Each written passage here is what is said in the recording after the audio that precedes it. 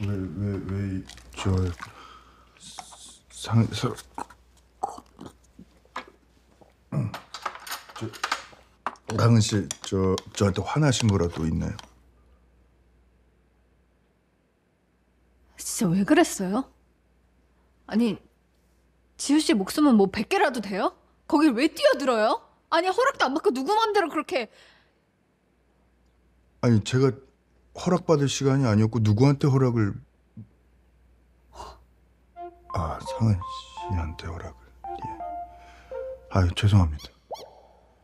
근데 상은 씨 제가 지금 밥 먹을 생각이 전혀 없어요. 내가 얼마나 걱정했는 줄 알아요? 나 병원 어떻게 왔는지 기억도 안 나요. 미안해요. 내가 잘못했어요. 신경 안 쓰게 해준다면서요. 예, 예, 제가 더 노력하겠습니다.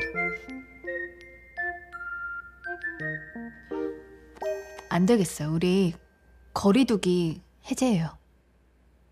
생각해봤는데 요즘 우리 심란한 일도 많고 항상 그게 나 때문인 것 같아서 불편했거든요. 이제 이 기회에 나한테 기대요. 제가 완벽하게 수습해 볼게요. 수습이요. 최상은이 아니 지효 씨 애인의 진가를 제가 보여드릴게요. 상은 씨의 수습.